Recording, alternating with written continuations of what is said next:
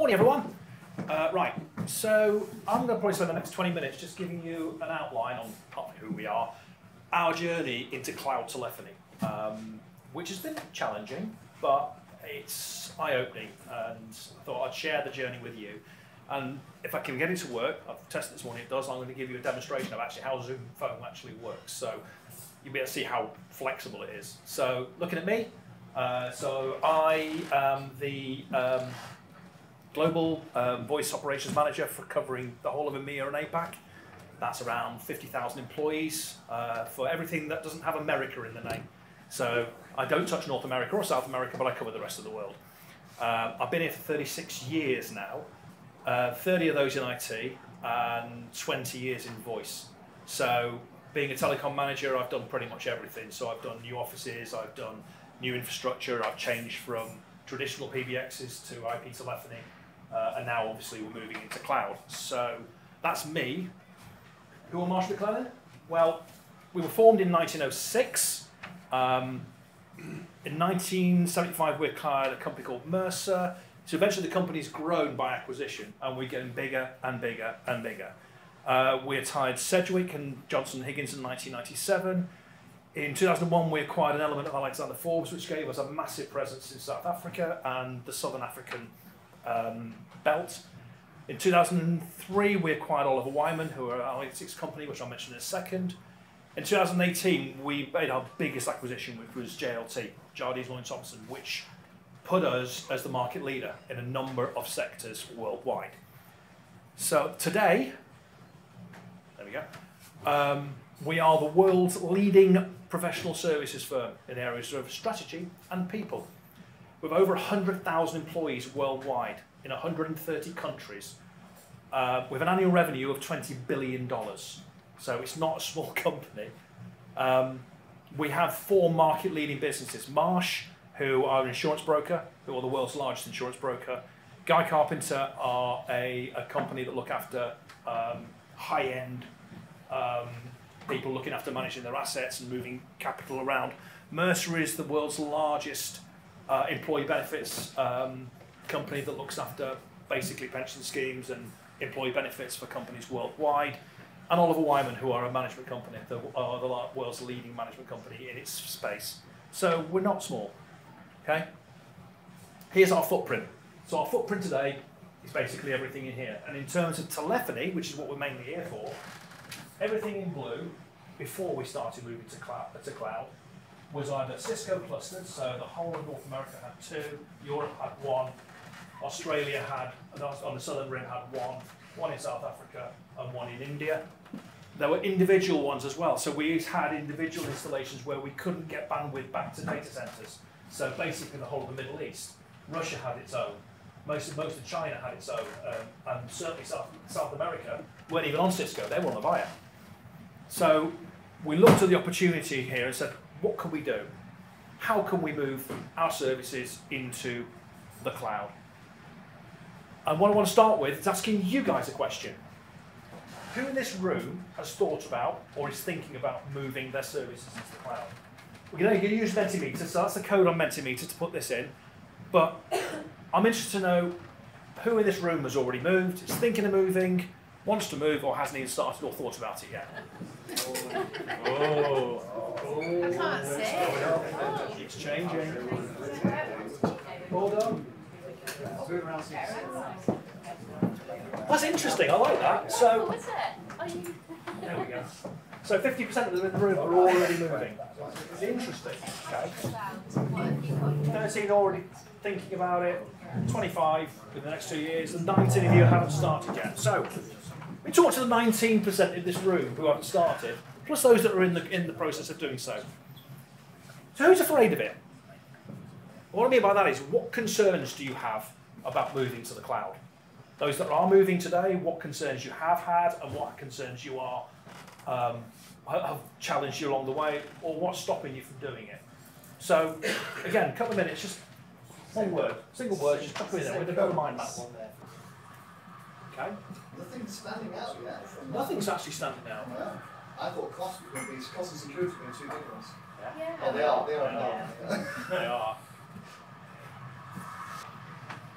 That's security. So security's coming through as the bigger one. Okay. Yeah. That's understandable. Okay. All right. We'll leave it at that. But thank you for that. So, what concern did I have? Biggest one I had was a culture change. What I mean by culture change was how will our business accept the change that we want them to make? How will they get? How will they? You know how people don't like to change. We're now changing from what they're so used to, the phone on the desk, easy access, to something that's completely alien to them. So the culture was going to be the biggest concern. Similarly, user adoption. It's not a case of just getting through the barrier of changing the way they want to work, but actually getting them to do it, getting them to understand how it works, changing their mindset, changing their mentality. The technology itself, how robust was it? How flexible was it? You know, how strong was it? Was it bleeding edge? Was it leading edge? How stable was it? You know, those sort of areas were giving me concerns. Telco support. So we're so used to our existing telephone providers giving a service this way. How will they move to providing it into a cloud? Will they be happy to adopt it? Will they be happy to move with us? Or do we need to change our telephone provider of service in the beginning? Vendor support. This is the vendor that we go to in the cloud. What's their support model like? How flexible is their platform? How nailed down is it? Are they going to be like Microsoft would be, throwing out software releases that no one knows about, under the, you know, things changing under the carpet, and the constant evolution of it? It's so new, it will continually evolve. It will continually change. How do we keep up with it? How do we keep people empowered? How do we give them the new tools at the rate at which software is developed live? It's not like your traditional software system. If you're on Cisco, for example, moving to the next version is you're in control of it. So you can test it, you can pilot it, you can come up with the documentation to send to your users. In a cloud environment, you don't have any of that luxury. So that was a concern. Cost wasn't. And I'll tell you for why. Because think of your real estate. Think of what your current telephony estate is. How much is that costing you today? You're having to provide the hardware, you're having to provide the power, you're having to provide the environment, and then there's the licensing on top of it. Moving things to the cloud changes your whole costing model. So all that hardware basically goes away, and you're running to a licensed model. So those of you of it with using Prism, Prism's a licensed model.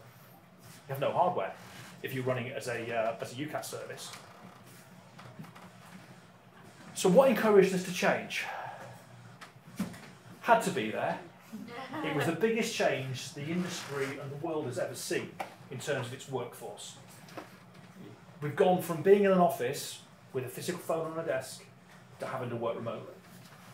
Yes, a lot of people like to use these, but these don't necessarily work for office-based telephony. So COVID-19 was a good opportunity, not really, but yeah, it was an opportunity for us to rethink our whole telephony strategy in terms of how we make our, our workforce more mobile. There's also real estate rationalisation. We're all seeing real estate costs going through the roof. So the cost of renting an office has gone ma- is massive. And because of COVID, we're finding offices were being left empty. And we were paying a significant amount of money to have a physical piece of real estate sitting there dormant, not being used. So because the real estate team were going, we can save money there and shaving it off, we were finding people were homeless, for want of a better description. Their offices had closed, or they were being asked to move hundreds of miles down the road. In the case of the US, thousands of miles away. So we need to make our workforce more mobile. There was also the spiralling costs heat, power, um, data center costs, um, license costs themselves. The company was growing, so we were seeing our IT, our, our voice costs do this. So we had to find a plateau. Standardization. I showed you the map before of how many Cisco clusters we've got and installations of telephony we've got worldwide. This gave us the opportunity of moving to a single platform across the globe. That was quite a compelling argument when we look at how much real estate and how much equipment we've got dotted around the world. So again, looking at the reduction in the voice hardware estate, you know, going from the clusters of our uh, Cisco clusters we had all over the world to a single platform.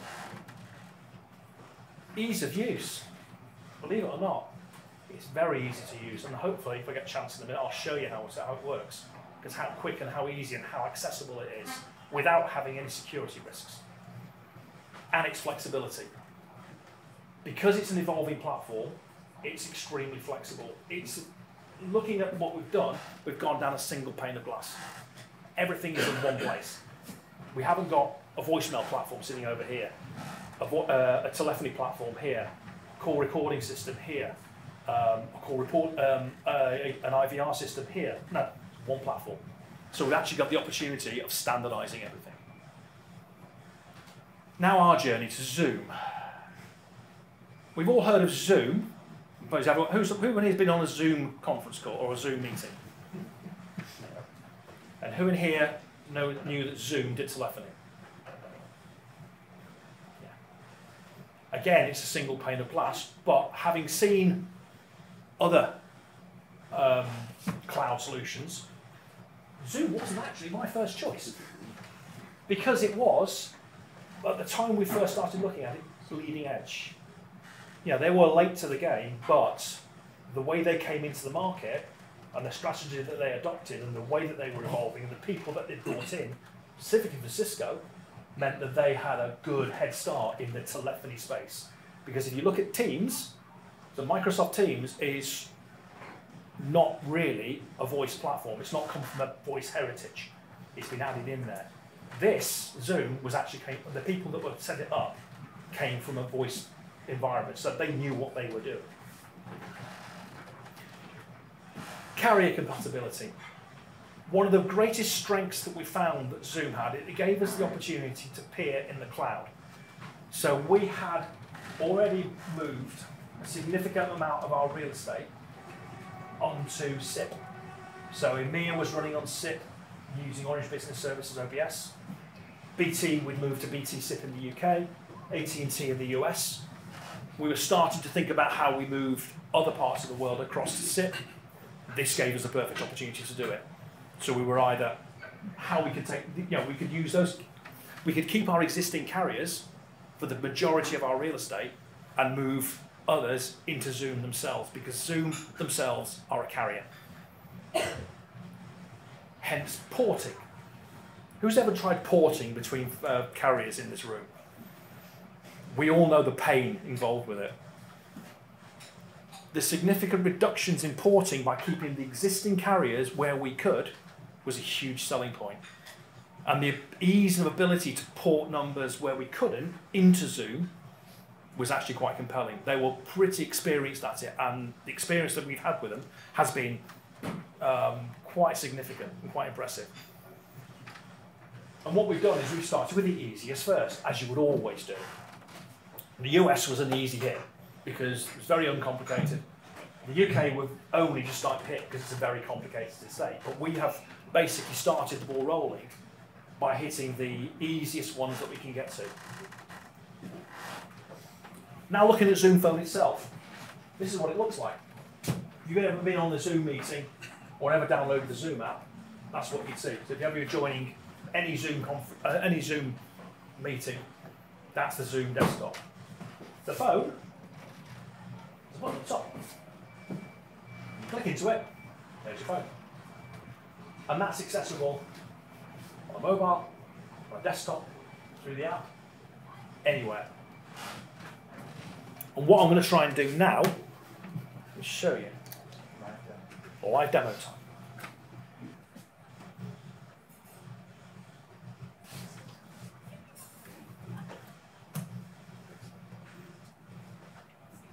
Boom, I'm in. I'm not even connected to our corporate network. I'm literally on the internet. Now, I'd actually cached this beforehand, so if I hadn't done this originally to test this, it's got two-factor authentication on it.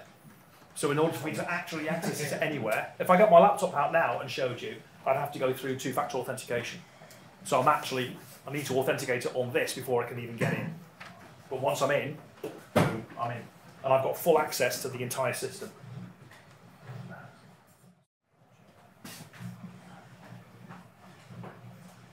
And there's all my users. Luckily, that's the Manchester ones. But that's only because they've just been added. But I've got users. I can get to any user anywhere in the world. As you can see. It's one single pane of glass for everything. And then, sorry, this is actually quite difficult to see. I'm looking, looking at this one. So if I've got all my sites, that is pretty much every site worldwide. And you can see we've currently got 642 sites on it. But basically that is all, in, it's all in one place, single pane of glass. And again, I need nothing else other than just an internet connection and authentication to the organisation. So it's extremely secure. Okay. So where are we now? You remember that? I showed you that earlier on. That was our footprint at the beginning of 2021. This is where we are now. So the whole of North America's moved, with the exception of that. Um, the whole of, most of South America's moved. The whole of Australia's moved. The whole of South America's um, South Africa's moved. Most of Europe have moved. So so far we have put 65,000 uh, of our employees across to the system. What's stopping us is carrier compatibility in the in in Asia. So because porting is not allowed in India, porting is not allowed in China, we're having to rethink how we do that in those countries. And in India, we're looking at carrier peering with the two main vendors in India, or, or shall I say Zoom are looking to carrier peer. And that basically means we're putting gateways on site to give us connectivity into the cloud. So it's not as easy in every location, but across most of the world, we can do this. Canada, we had challenges with Bell Telecom. We've overcome those. They're moving in about four weeks, and that's 14,000 people. And they'll be moved across within the space of a week. So it's really quick to adopt it. And what's for the future? The thing we're finding with Zoom is Zoom is growing very quickly. So they originally wanted to merge with, they put a, a, a um, an aggressive takeover bid in for five nines. It was rejected. So they thought, sorry, we'll do it ourselves. We've got the skills, we've got the people. They've built their own contact center environment, and it's really good. The problem we got with five nines is five nines is quite expensive. It's all license based, but it all bolts into the same pane of glass. We're not applying different systems. It's all in one place. Tiger come into this now because as of yesterday, Ben will explain this in a bit. As of yesterday, we now have a Tiger instance for Zoom with live feeds being taken from our data to enable us to analyze and start to use Prism, which is a big selling point for Tiger. From our point of view, uh, it also gives you worldwide coverage. So I'm able to actually use this anywhere in the world, whereas with Prism, Prism is only really tied to one environment, which is EMEA. So my footprint here, and I've got most of my global colleagues turn around and say, can we do this, can we do this, can we do this? Yeah, we can.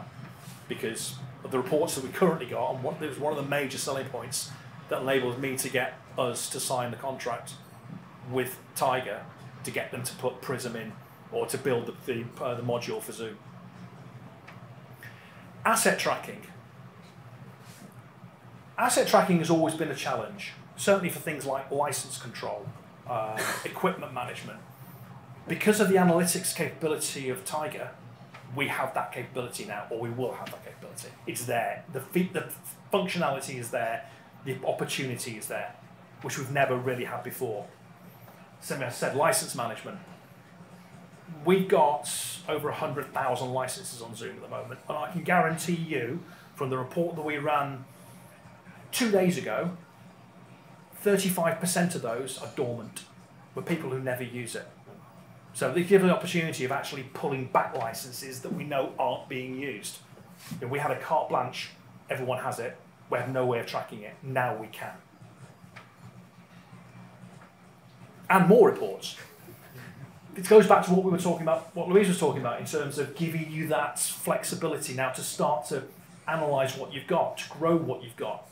The opportunities are there, and now we have that flexibility, or we will have that flexibility. We know that certainly Tiger can give us that, and that's one of the key reasons why I'm still here, and I'm still coming to this because I know the features are there and can be delivered.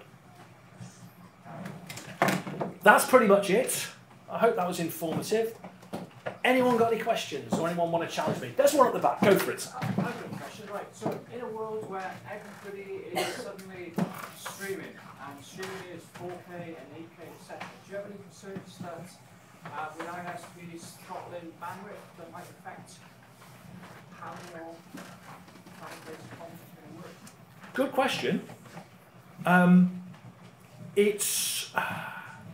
I have no concerns over it. We're, we're currently running SD-WAN now. We've put every single one of our UK offices is now running SD-WAN, which is our data network over the internet. So we're running big pipes into every single office. Um, data contention with voice has never been an issue, even for our bigger offices. Whereas with Cisco Jabber, if anyone anyone in here on Cisco, know full well what Jabber and IP communicator can be like. Yeah, they're bandwidth Hungary and they fall apart all the time, and they need upgrading all the time. Never have a problem with uh, with Zoom at all. So your bandwidth is never going to be an issue, or hasn't been so far for me. Rob, I'm just interested, obviously, you moved to Zoom. Yeah. I don't need figures, but have you made some significant cost savings? yes, yes. we the one of the drivers we've got with the project, and we're trying our best to get it in as fast as we can, is we've got to sign a new contract with Cisco for licenses. Um, and we probably shaved around about 15% of our voice costs purely on licenses alone by moving to Zoom. As far as the call charges are concerned, actually Zoom themselves are saving us significant money by using them as the carrier in South America. So we've moved from Telefonica to Zoom native, to Zoom are our carrier, and we're getting North American rates in South America, which is unheard of. So we're saving a significant amount of money outside, outside of Europe, but across the world on call charges. So whilst it's not visible to start with, it certainly be- will become a lot more visible when we start analysing it once we get everybody across. You want to move on? And, and no, no, if there's any more questions, more que- please feel free. Go on, Steve. two, Steve. Ah. One is, what directory system are you using for your worldwide thing with then with Zoom? and How are you getting to it? And the other one is, are you using Tiger for the costing now through the Zoom carriers? We th- today we're not because um, Zoom are being we're using um, Tangoe in the US for our cost analysis. However, the plan will be to use the reports that we've got within Tiger to actually get us a better holistic view because what we're getting from Tangoe is not feature rich and does not have the level of uh, of reporting that we want and the, the breakdown that I want. To your first question, which was Directory. the directory, of course. Um, the way we've structured it, I, mean, I showed you very briefly the, the, the, the site codings that we've got. The directory is very, very holistic because every user is associated to a site. And that site is accessible worldwide. So we can break our directory down by country, by office, um, by state in the US. So I'll give you a great example because the US is now fully on Zoom. Hurricane Ian has just hit the US by having the ability to search by state, they were able to find every single employee that was in Florida and move them and move the services across. So any core queues they could move across, any receptions they could move across purely by looking for the state, and that's built into the way we've designed the structure and the directory. So from a DR point of view, the US have found it incredibly um, flexible and very very useful.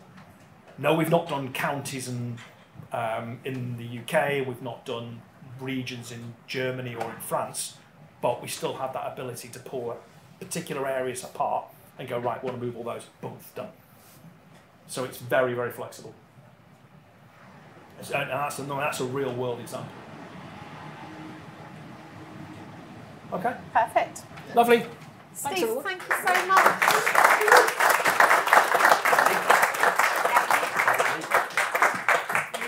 Showing off, not only does he give us a very informative demo, but he does that live demo bit as well. It's always a brave choice.